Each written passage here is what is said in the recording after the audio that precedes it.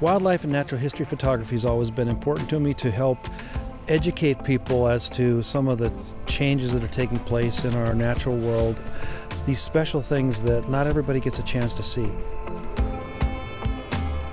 We're in Lake Clark National Park. It's a very remote location. There are no roads in here. The only way to get here is by bush plane or boat. Our pilot noticed quickly that we didn't have a lot of gear. The great big monster lenses that I used to use are gone. We're shooting smaller cameras, smaller lenses, and getting even higher quality than we used to do with our traditional DSLRs.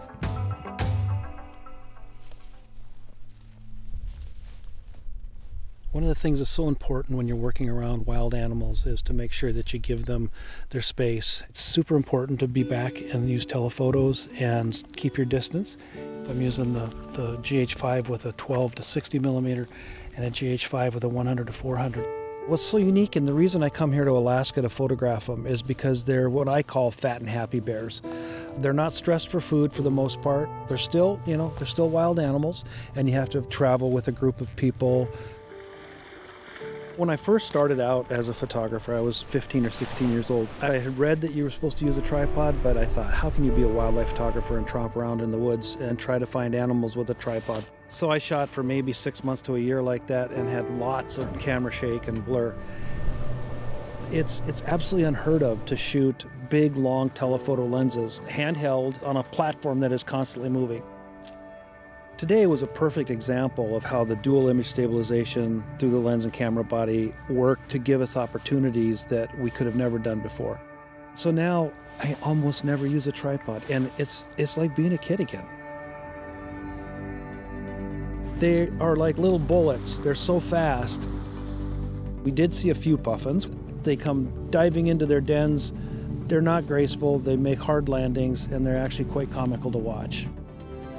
When they come flying by, you have to be so quick to get on them, focus with them, and stay on them and get a sharp picture.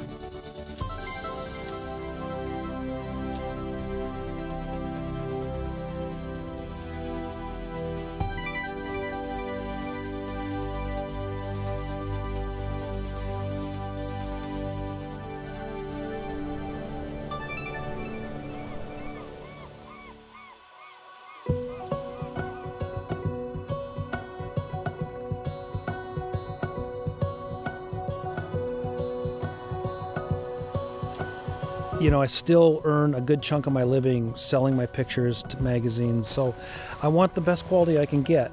People want to see the detail in the fur. They want to see the eyes of the animal. I want to see these little gnats that are flying in front of us that are really bad this year.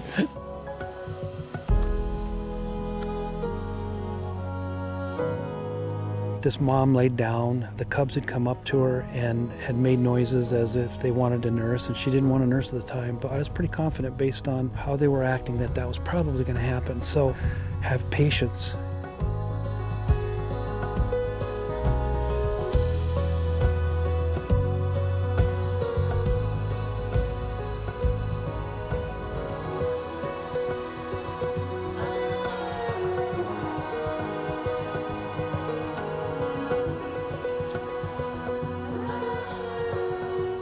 Yeah, it's been a very successful trip and we've had a lot of fun. The new technology and the Panasonic cameras that I'm using, these cameras have hit what I feel is the sweet spot, where the sensor size is big enough to give you incredibly impressive large prints, but doing it with less strain on my back, less strain on my wallet, and a lot more technology in these newer products that we didn't have with the traditional DSLRs.